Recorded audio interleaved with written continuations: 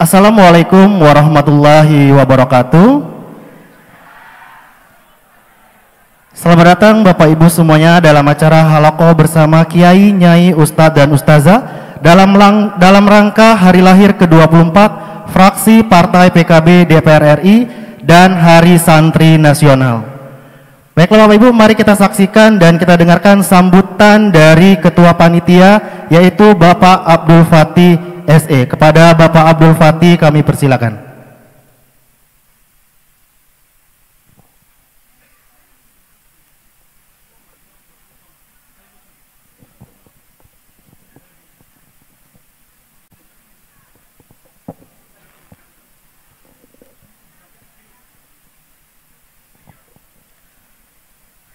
Assalamualaikum warahmatullahi wabarakatuh.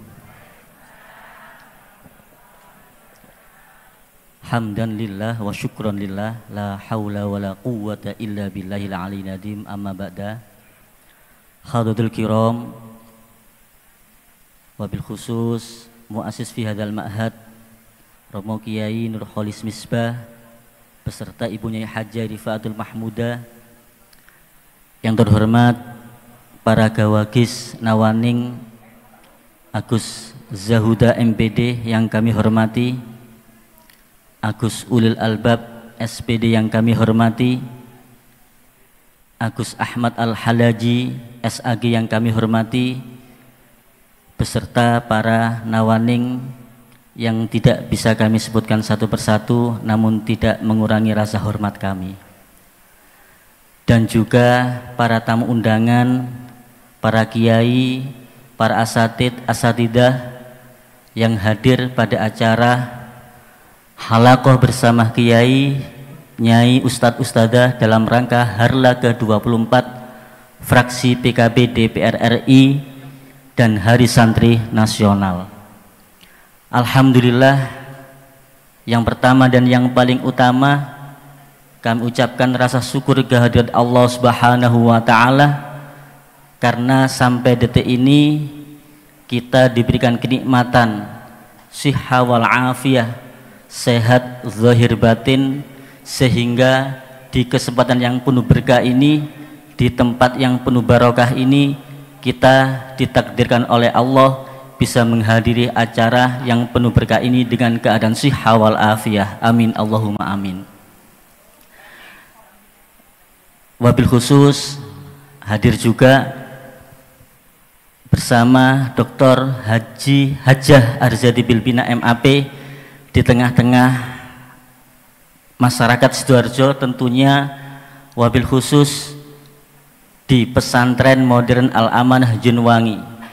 Semoga kita doakan beliau diberikan oleh Allah keberkahan, usia yang berkah dan bermanfaat bagi masyarakat terutama masyarakat Sidoarjo. Amin Allahumma amin.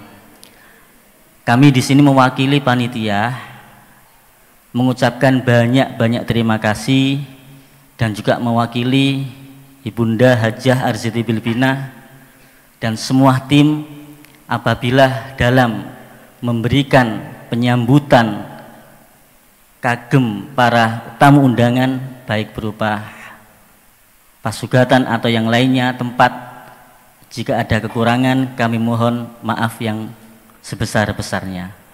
Tentu semoga acara ini mendapat keberkahan dari Allah Subhanahu wa taala dan apa yang kemudian menjadi program Bunda Arzeti untuk ke depannya senantiasa dimudahkan oleh Allah Subhanahu Wa Taala. Mungkin itu yang bisa kami sampaikan dan yang terakhir kami mohon doa panjenengan Al-Fatihah karena hari ini putra Bunda Arzeti dan Pak Didit ujian semoga e, bisa berhasil dan diterima dalam e, apa itu namanya ujian putra-putra beliau. Ala hadiniyah wa ala mana wa bisal fusolih al-fatihah